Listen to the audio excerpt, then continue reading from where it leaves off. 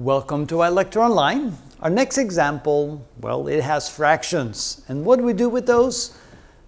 Well, we could multiply both sides of the equation by the lowest common denominator. And in this case, the largest denominator, 6, is the lowest common denominator of all three, which means we can multiply the left side by 6.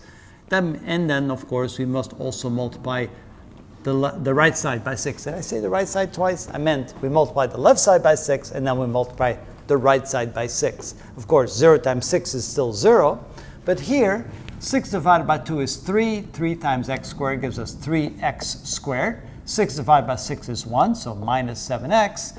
And 6 divided by 3 is 2. 2 times 1 plus 2 equal 0.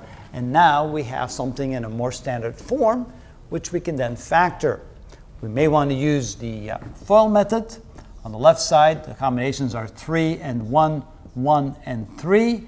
On the right side, notice we have a negative here and a positive there. That means both must be negative.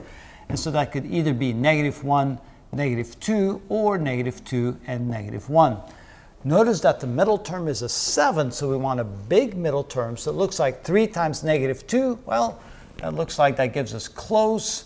So I'm going to use these two combinations to see if we get the right number. So 3 times negative 2 and we add to that 1 times negative 1. Notice that the arrows goes this way. So 1 times negative 1, which is equal to negative 6 minus 1, which is negative 7. And that is indeed the middle term we were looking for, which means that this can then be factored in the following fashion.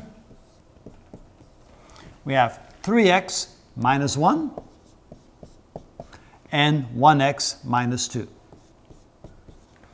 And then, of course, the last step, we realize that we're multiplying two binomials together and get 0, which means that either 3x minus 1 equals 0 or x minus 2 equals 0, which means that 3x equals 1 or x equals 1 third as one possible solution, and here x equals 2 as the other possible solution. And notice, when you have fractions, first get rid of them, multiply both sides by the lowest common denominator, and then you proceed in the normal fashion. And that is how it's done.